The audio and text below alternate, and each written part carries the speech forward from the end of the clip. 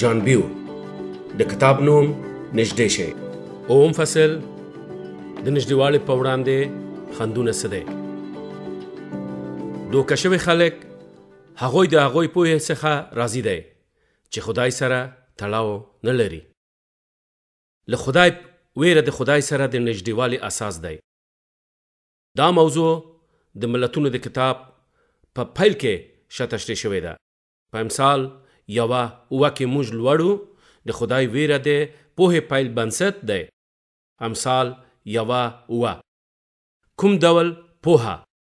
لیکوال له څو آیتونو وروسته وايي،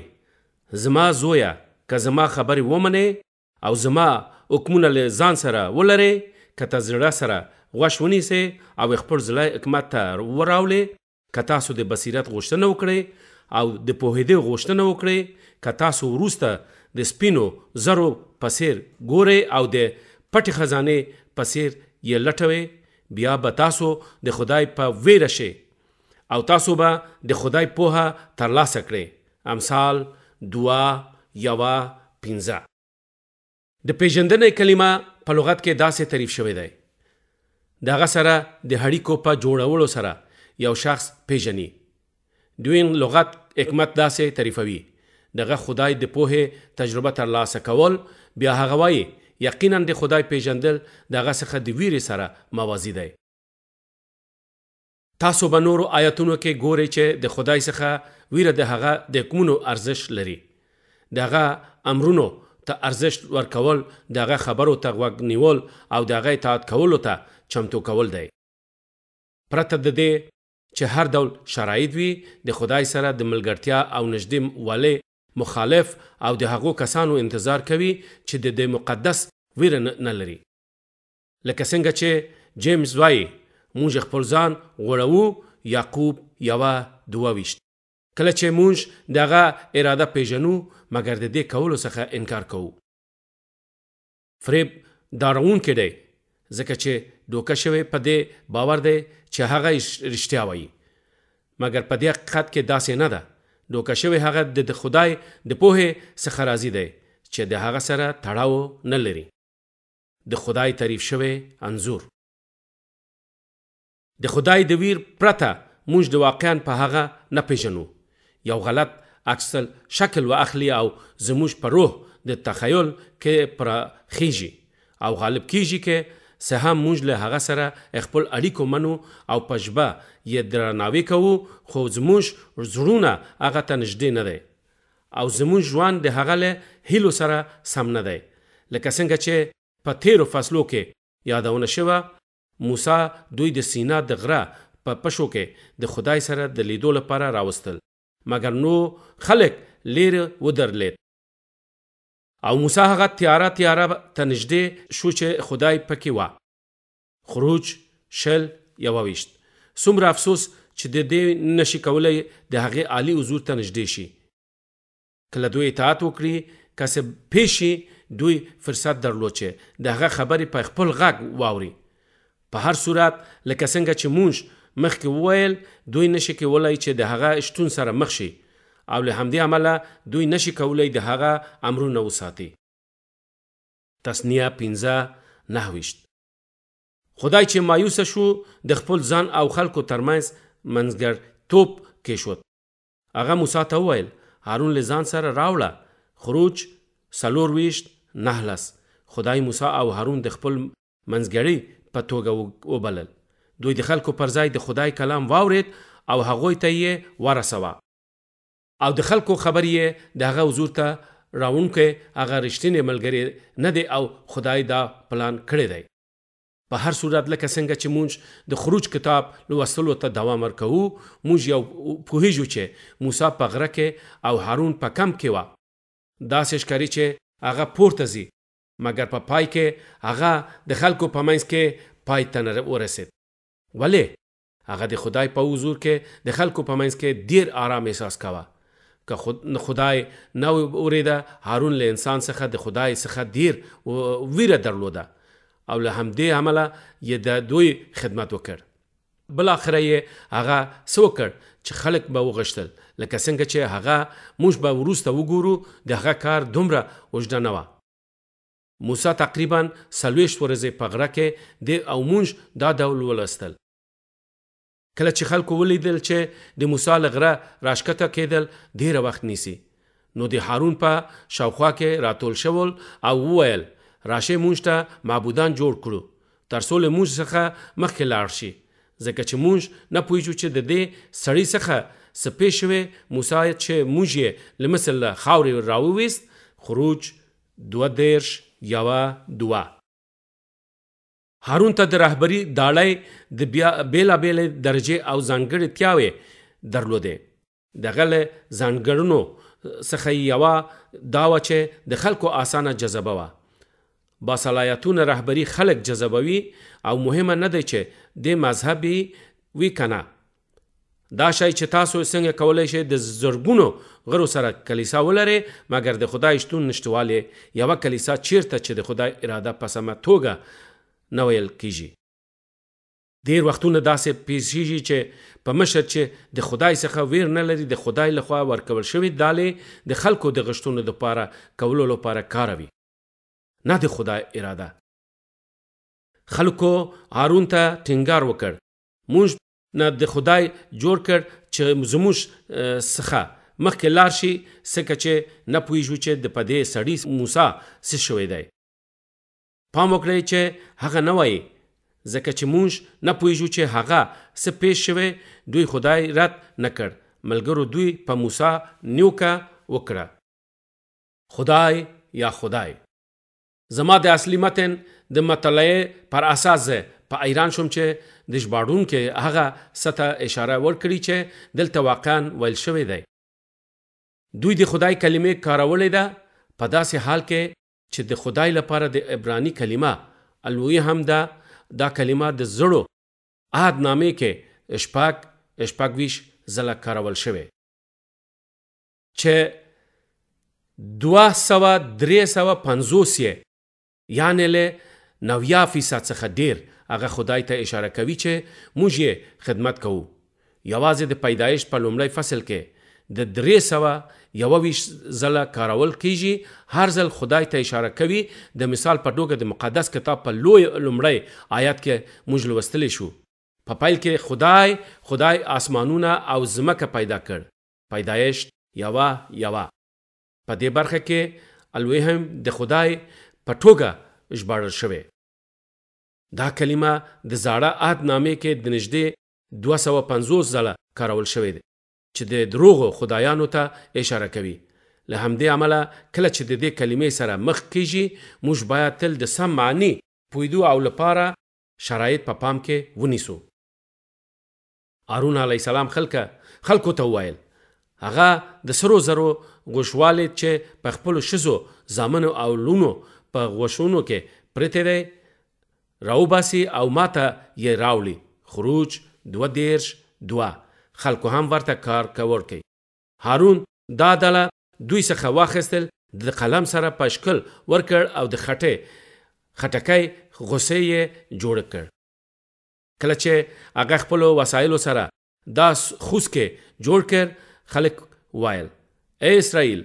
دا ستاسو خدایان دی چه تاسو یې د مصر له خاورې څخه راوستلی دوه دېرش څلور د خدای لپاره د عبراني کلمې الهیم ده خلق وایي، ای بنی اسرائیلو! دا ستاسو خدای پاک دی چې تا د مصر و د وطن د راوستلې، تاسو ګورئ چې د پېش شوې لوستلو ته دوام ورکړی تر څو داد ترلاسه کړي چې خلق څه وایي. کله چې عرون دا ولید نو د هغه خوسکې په کې یوه قربانګاه جوړه کړه. او اعلان یې وکړ، سبا به د خدای لپاره جشن وي، خروج دوه دېرش، پنځه. په دې آیت کې خدای په ژباړل شوې عبراني کلمه یهوی ده، سشتن په زاړه عهدنامې کې تر ټولو سپېڅلې کلمه ده. دا د یو رښتیني خدای ځانګړی نوم دی چې په زاړه عهدنامې کې دا هېڅکله د غلط خدای تشریح یا نوم لپاره نه کارول شوی. دا کلمه دومره سپېڅلې ده چې کاتبونه یې هم نه ولیکلې دوی واولونه لرې کړل او یوازې یو اچ دبلیو یو توري یې ولیکل یهودي لیکونو کې د مقدس سلور لیکونه ویل هغه سلور تورې چې د ویلو اجازه نه لري دا یو بې ارزشه نوم وه یو سپیڅلی نوم چې د اسرائیلو په ژوند کې په هیڅ ډول بد نه شي نو هارون د بنی اسرائیلو یو خوست کې جوړ کړ او ورته یې اشاره وکړ او یې وویل دا د بنی اسرائیلو یوازنی خدای پاک د دې چې مونږ په د مصر د ملک نه ورسي وستلو هغوی ونه ویل دا بال دی هغه څوک چې مونژ یې د مصر نه راوستلو او دوی له مصر څخه د دوی خلاصون یو دروغجن خدای ته منسوب نه کړ دوی دا خوز کې ده خدای په نوم یاد کړ هغه عبادت چې د عیاشي سبب ګرځي دوی په ښکاره ټوګه د خدای څخه څخه انکار نه دی کړی مګر د هغه جلال په ورته کچه کې شودل چې د غوس کې جوړ شوی دوی د خدای په پوهه کې دوکه شوی مګر دوی لا هم سشتن د مصر څخه د دوی غوښتونکې او نجات ورکونکې ګڼي دوی د هغه د شفایي ځواک څخه انکار نه دی کړی مګر دوی یوازې د هغه مخ بدل کړ دا لاندې بیان شوی. نو خلک سهار وختي پاڅېدل او د سوځېدونکې قرباني او دوستي نذرانې یې وړاندې کړې. بیا دوی د خوړوړو او څښلو لپاره کېناست او لاهو او لب ته ودرېدل، خروج دوه دېرش، شپږ. په یاد ولرئ چې دوی قرباني راوړي ولې دغه غوز کې د ناروې لپاره په هغه یې د خدمت کولو ادعا کوي د خدای په نامه یا دیریږي مګر د قرباني یا عبادت کولو وروسته دوی د خپل نفس غوښتنو پیروي کوله د مقدس کتاب په بل ژباړه کې دا وایي دوی پاسېدل او په غوښه بوخت شول آیا دا نن هم پیښیږي یا داسې څوک شته چې د هغه نجات د په فضل سره نلی څخه خلاص کړي مګر د دوی په زړونو کې د هغې سپېڅلې ویره نه لري او د عیسی نوم په هغه څه کېږي چې دوی په جوړ کېږي او پیسې یې ورکړي په عین حال کې د دوی د نوې زیږون تجربه پرمختګ په حال کې ده دوی هغه په ځان د خدای په توګه مني او هغه یې مني، دوی کلیسا ته ځي او د ازادي او ازادي سندرې هم وایي. دوی کلیمې پیغام هم اوري او ډالې ورکوي، مګر کله چې دوی پریږدي کلیسا دوی ترلاسه کوي او دوی د خپل کار په اړ دروغ نه وایي او دوی دا هم ګواهي ورکوي چې خدای د دوی په سوداګري کې برکت ورکړی ده. دوی شاید د خپل شپون او نورو په هړه اواز خبروي او دا یې توجیه کوي. شا دا حقیقت دی چې هر څوک پوهیږي دوی زنایا نور خیانت کوي او بیا د دې بهانې لاندې له هر څه څخه ځان خلاصوي چې عیسی دوی خونډې کړي. دوی په غوښه کې ژوند کوي او ورته اړتیاوې لري په دې اړه ویلو لپاره دیر څه شتون لري. د داسې خلکو څخه پوښتنه وکړئ چې دوی عیسی پېژني، دوی ټینګار او باور سره ځواب ورکوي، هو! آیا تاسو د فریب احساس کوئ؟ آیا دوی په هغه چا باور لرئ چې د خدای ښی لاس ته ناست دی، که په عیسی چې د دوی په څېر پیدا شوی او دوی ته هر څه ورکوي چې دوی یې غواړي؟ تر ټولو مهمه، آیا موږ ځانونه له دې ډلې څخه ګڼو؟ تاسو په وګورئ چې کله خلک د خدای څخه ویره نه لري دوی کولی شي چې هغه ته بلنه ورکړي مګر دوی خپلو نفسي خواهشاتو ته متوجه دی دوی په خپل روح او بدن کې د خدای سره دښمني کوي ځکه چې دوی د خدای د ارادې لاندې نه دی د رومیان 15 اته اوه ته مراجعه وکړئ دوی د هغه د ارادې نافرمانی کوي کله چې هم د دوی هغه نوم اخلي دغه پیژندولې ادعا کوي او باور لري چې دوی چلن تصویب شوی د اطاعت نشټوالی د هغه زړه څخه راځي چې هغه هیڅ مقدس ویره نه لري د نافرمانی ریشه او د اړیکو نشټوالی د عیسی پیژندولو په فریب کې پټ دی هیڅ شی مخفي نه دی تاسو د په تول مقدس کتاب کې وګورئ که آدم له زوال څخه ډیر وخت نه و تیر شوی چې موږ د پدا خپل زوی کې ولیدل کله چې د کاین مور او پلار په باغ کې ګناه وکړه دوی د ناپوهی له امړه ځانونه د انځر یا په پانو پوشلې وه یعنی دوی ته ځمکه میوه پوشلې ده خدای دوی ته خپل اراده وښودله کوم چې یو ساوری وړاندې کوي هغه دوی د ساریو پوستکی پوشلی کوم چې زه باور لرم دوړې پوستکی وه داسې نه ښکاري چې کاین ناپو وه هغه د خپل مور او پلار څخه زده کړل چې د قرباني وینې منل مهم دی نه د ځمکې محصول په هر صورت موږ لوستل یو څه وخت وروسته کاین خدای د ځمکې د محصول داړې راوړه پیدایشت څلور درې هغه په. ښکاره توګه د خدای خدمت کولو ته هڅه وکړه، ځکه چې هغه دا نه وايي چې هغه یو غلط خدای ته قرباني کړې، هغه ډېره هڅه وکړه چې خپل قرباني خدای ته ورسوي، مګر هغه په څرګنده توګه په نافرماني کې ونیول شو. د هغه د نافرماني ریښه څه وه؟ دا د خدای د ویرې نشتوالي پرته بل څه نه وه. اشکاره ده چې کله خدای په وپوشتل چې د هغه وژل شوی ورور چیرته دی هغه په دې بیرحمی ځواب ورکړ زه نه پوهیږم آیا زه د خپل ورور ساتونکی یم پیدایشت نه څلور تاسو بیا شاید یاست اسرائیل او غوز کې د خدای د ویرې په نشتوالي کې دوی د خدای عکس بدل او کم کړ او وروسته د هغه خدمت لارې کاین په فریب کې فکر وکاوه چې هغه ته د خدای څخه یو څه پټ کړي لکه څنګه چې دا د انسان څخه پټ کیدای شي د کاین په سترګو کې د خدای مخ د انسان کچې ته راټیټ شو پولیس په واضح ډول موږ ته خبرداری راکوي چې موږ به دا نمونه په وروستیو ورځو کې وګورو که څه هم دوی خدای پېژني، دوی د خدای په ټوګه د هغه عزت نه کوي او نه یې مننه و کړه.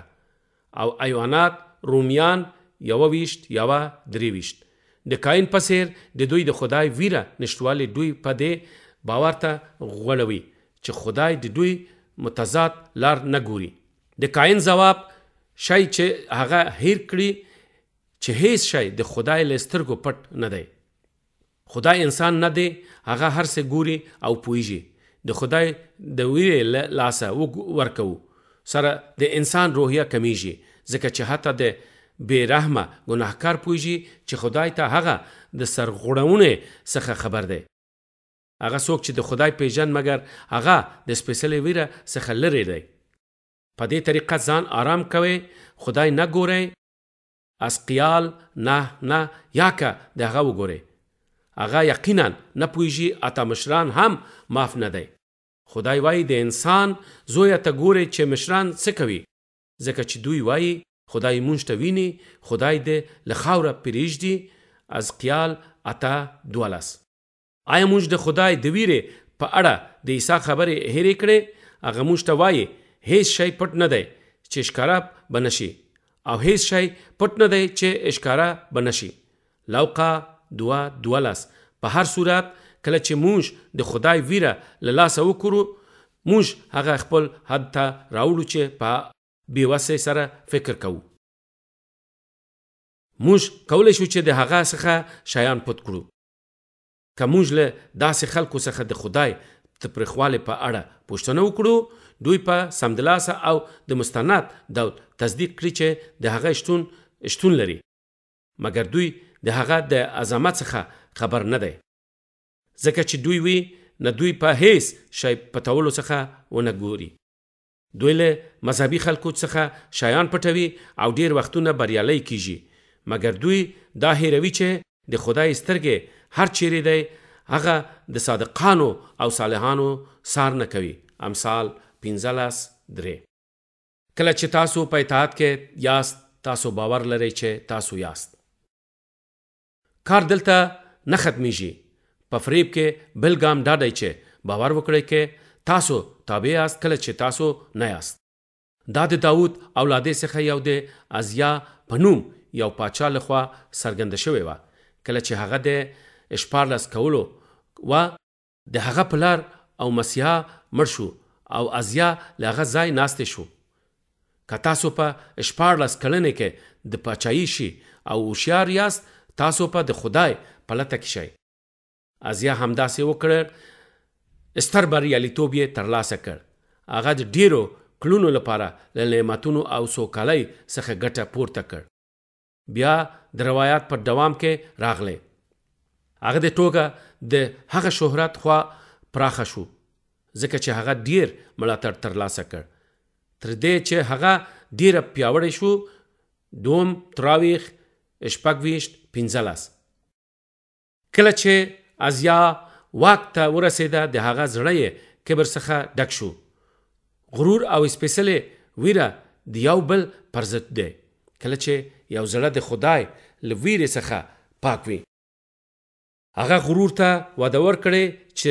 دقت سره ولولي چې د پیش شوي خو کله چې ازیا پیاوړی شو زړه یې مغرور شو هغوی هغه الا کړو ځکه چې د هغه خپل څښتن خدای سره خیانت وکړ. هغه د خدای کور ته ننوتل تر څو په قربانګاه باندې خوشبويي ورسره وسوځي، مګر عزریا کاهن د هغه څخه وروسته د خدای د اتیا کاهنانو سره چې زړور سړی و ننوت. هغوی د عزیا پاچا به وړاندې ودرېدل او یې وویل، ای عزیا، د خدای پاک دپاره د غوشبويي سوځول ستا کار نه دی، بلکې د هغوی کاهنانو کار دی چې د هارون اولادې دی او د خوشبویي د سوځولو د پاره مقدس شوی شي نو د قدس نه اوسه ځکه چې دا ګناه کړې او دا په د مالک خدای طرفه تاسو ته هیڅ عزت نه ور درکړي خو اوزیا یا چې د پلاس کې د خوشبوئی د سوځولو یو بندر وه ډیر په غوسه شوه او کله چې هغه د کاهنانو سره په غوسه شو د خدای په کور کې د کاهنانو په حضور کې د قرباني ځای ته نږدې د هغه ټونډې باندې جزام ښکاره شوه دوم تراویخ شپږ ویشت شپارلس نهلس دلته باید دا پوښتنه وکړو کله چې د ازیا زړه کبر شو آیا هغه نور هم معنوي شو چې او کنه که موږ له اوریدونکو څخه دا وپوښته وکړو دوی ډیره وختونه وایي هغه په روحاني لحاظ کمزوري شوی خو داسې نه وه ځکه چې هغه د عبادت د معبدونه ته راوړن وه حقیقت دا دی چه هغه د خپلو اعمالو که ډیر روحانی دینی شوی ډیر وختونه تاسو د مومی چه د خورا روحانی چلند او غور په ګډه که سره ځی او یو بل پوه شی غرور د یو شخص د منلو څخه منع کوی چه هغه دینی دی او دین د مختلفو روحانی څرګندولو سره غرور پوه شی دا تول د خدای د ویری او رشتینی عاجزی نشتوالی له امله دی. په یاد ولرئ چې ازیا په غوسه شو کله چې هغه د حقیقت سره مخ شو کاین بالکل همداسې وه د خدای کلام وایي مګر هغه د کاین او د هغه داړۍ معنی درلوده نو کاین ډیر غوسه شو او زړه یې له لاسه ورکړ پیدایش 15 سلور کاین د خدای څخه ناراضه وه کله چې تاسو د هغه چا سره مخامخ شې چې په نافرمانی کې ژوند کوي دقیقات سره د خدای نه ورې کړې ده دوی په غوسه شوه ولې ځکه چې هغه واقعا پوهیږي چې هغه څه کوي دوی غوړول کیږي او غوړول هغه څوک دی چې فکر کوي دغه عمل سم دی کله چې هغه غلط وي که اوزیا خپل کارونه سم نه ګني نو بیا ولې د کاهنانو په غوسه شي هغه معبد ته د عبادت لپاره نه نوتل مګر د هارون د زامنو په څیر هغه د خدای د قوانینو ته درناوی څخه غفلت کړی و هغه د خپل اطاعت چې متضاد وو که څه هم هغه له خدای سره د نږدېوالي او نږدېوالي په لټه کې او په دې سره یې ځان تسکین وکړه خو د حقیقت کې هغه چا څخه لري چې عبادت اراده یې درلوده آیا دا یو مناسب ځواب ورکوي چې ورکه کلیسا د دیره د خدای سره د نږدېوالي ادعا کوي مګر د هغه د غوښتنو سره اسمون نه لري د هغه اصول په پوهیدو پرته چې موږ پر باس کړی وای خلک په داسو سره هغه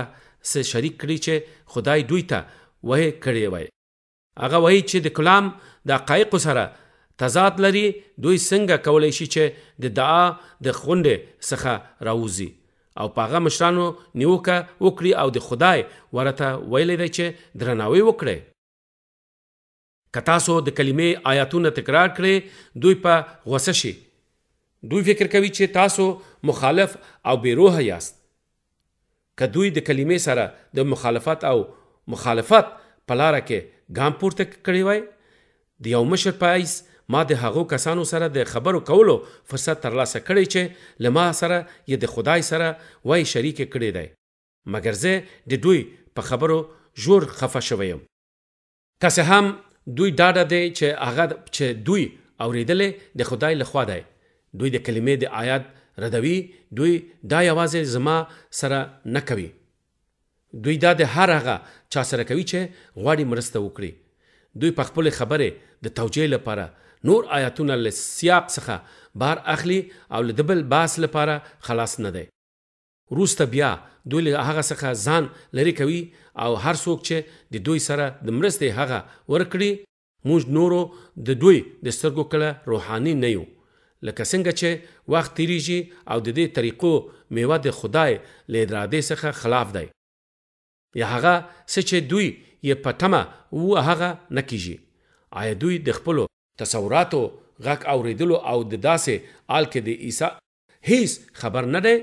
آیا دوی توکه کښ شوی کله چه د خدای سره نژدیوالی او نژدیوالی ته لتک کیدی. د بت پرست زړه سره خدای ته نژدی کیدل.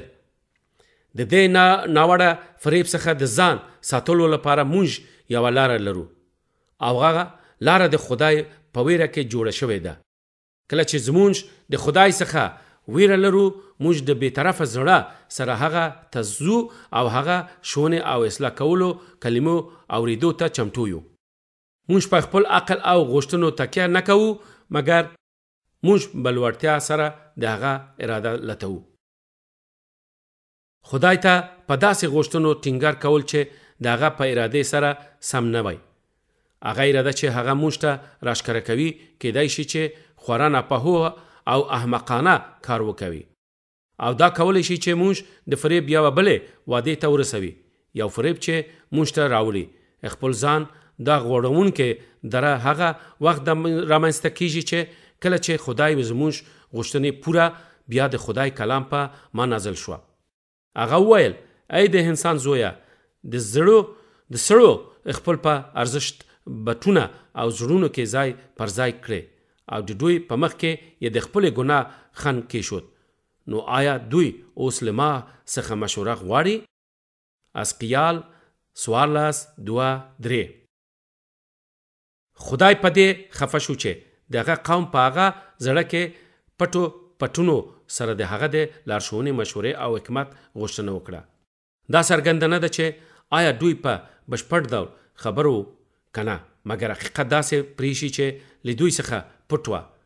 دا بتان د دې لامل شول چې دوی په ګناه کې ډوب شي د عبراني کلمې چې دلته د ګناه په ټوګه ژباړل شوې ده. حيوان دی او دا د خدای د ارادې په مقابل کې په قصدي يا غير ارادي ډول د خطا معنی لري. په ياد ولرئ چې خدای دا نه دی ويلي چې دوی د کور په انګړ تالار يا د خوب خونه کې پت جوړ کړي. دا د دوی په زړونو کې پت پرستي دی. په دې یاد ولرئ چې بت پرستي یوازې د بل خدای په نوم دعا کولو یا ویلې پورې محدوده نه ده لکه څنګه چې مخکې ویل شول د بت پرستي یوه بڼه د خدای ټیټ اشکل ته کمول دی دا مونږ د هغه څخه راکوي چې مونږ یې پټمه یو د بت پرستی ریشه لالچ دی عهد جدید هم دا خبره پایدوي او تاییدوي چې نو هر هغه څه چې په تاسو کې دی هغه وروژنئ هغه دا چې یې بې حیایي، نجاست، شهوت، بد خواهشات او شهوتونه چې بت پرستي دی له همدې امله پر باغیانو او د خدای غضب نازلیږي. کوسلیان، درې، پنځه، شپږ. پافسیسیان، پنځه، پنځه، پولیس وايي، چې لالچې سری په یو بت پرست دی دا څرګنده ده چې بت پرستی د لالچ په ټوګه تعریف شوه نو راځي چې لالچ تعریف کړو د ویستر قاموس دا کلمه داسې تعریفوي دغه څه ترلاسه کولو او درلودلو لپاره قوي هیله دی چې شه ګنل کیږي کله چې ما دعا وکړه ما د خدای څخه وشتل چې دا سمنی لري او د هغه ځواب دا وه، لالچ د ګټې غوښتنه ده. دا تعریف د پیسو په مینه کې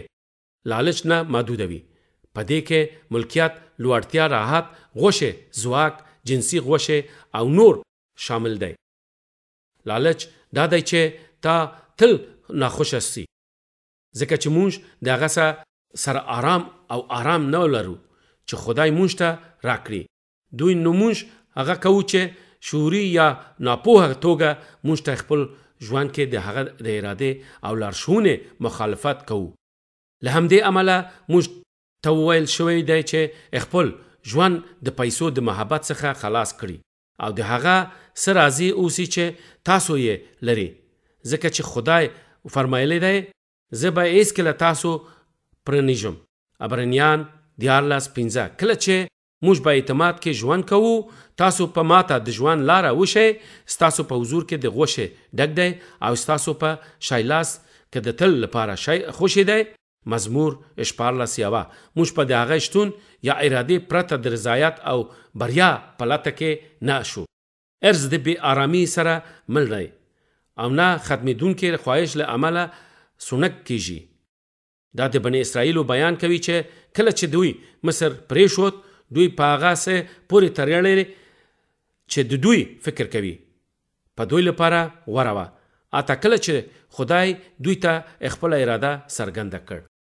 دوی هغه پروسه نه غوښله چې مخې خدای غوښتلې وای چمتو کړي چې د ژمنه شوی ځمکې قبضه وکړي